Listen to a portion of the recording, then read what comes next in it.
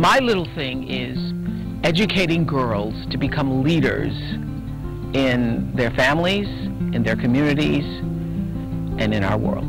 My little thing.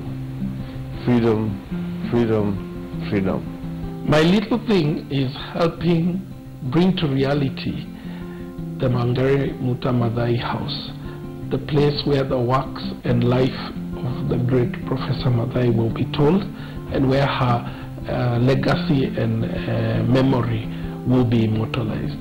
My little thing right now is to continue to support the Greenbelt movement as she left it. My little thing is letting my light shine, just like Wangari taught us. My little thing is to empower women and to show them that anything is possible.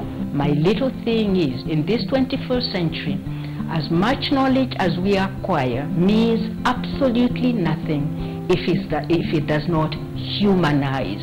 And my little thing is telling stories about Africa. And not just stories about Africa, but us telling our stories. I use a simple technique called FUBU. For us, by us. That's the African story.